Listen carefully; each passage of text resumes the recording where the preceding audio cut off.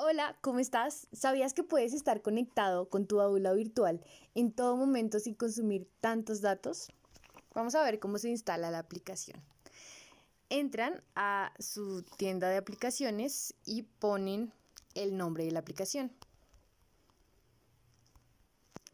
Le dan Enter y es la primera que sale.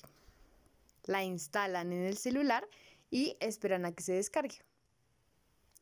Esta app te permite ingresar a tus módulos, descargar el material de apoyo, participar en las conferencias, acceso a la bandeja de entrada y todo lo que necesites para llevar a cabo tus asignaturas sin perderte nada.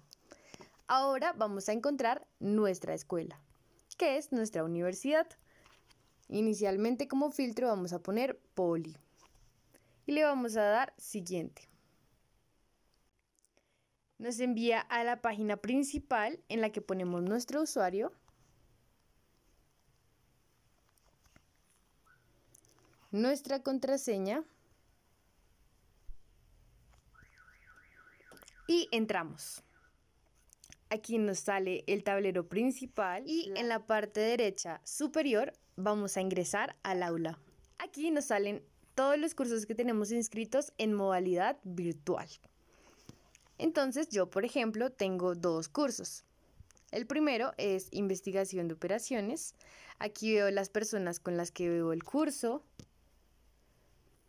los módulos, cada una de las unidades, las teleconferencias pregrabadas, las actividades evaluativas para no perderme nada.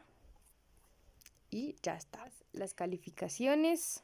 Ahora veamos la segunda materia. En la segunda materia se ve una distribución diferente. Entonces, igual podemos ver a nuestros compañeros por acá y todo lo que necesiten para llevar a cabo su aprendizaje. Aquí está, tal cual como sale en la página web, el escenario 1, 2, 3, 4, 5, 6, 7 y 8. Esta distribución de escenarios es distinta a la que les mostré en el primer curso. Entonces acá nos sale competencia y es súper fácil de leer, la letra es grande, súper acogedor. Luego entonces la sección de la entrada.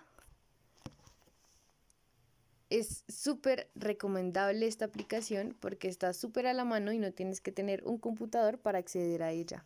No olviden también que está el calendario para poder mirar cada una de las actividades que les toca presentar en el día o en la semana.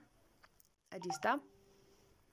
Las notificaciones son como conferencias que se van a dar y los espacios que habrá el profesor para dar el acompañamiento. Además de la bandeja de entrada, que en este caso es el correo del aplicativo en el que están dictando las clases. Esta bandeja de entrada no es el mismo correo institucional, sino que es propio de la aplicación. Este correo también lo pueden ver en la página web. Y eso es todo. Gracias.